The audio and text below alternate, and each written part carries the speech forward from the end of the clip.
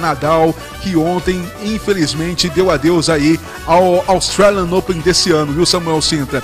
O jogador não conseguiu jogar tão bem a sua partida ontem e perdeu por 3 a 0, sentiu uma lesão no quadril também. Nadal com complicações, dá adeus, portanto, ao bicampeonato consecutivo do Australian Open. Já ganhou alguns títulos lá, é o atual campeão, é o número 2 do ranking mundial, mas infelizmente ontem na segunda rodada Nadal perdeu a partida. E deve cair bastante no ranking aí, deve cair, deve continuar no top 10, mas vai cair bastante porque ele defendia 2 mil pontos e acaba agora, portanto, não tendo a oportunidade de defender mais a sua pontuação.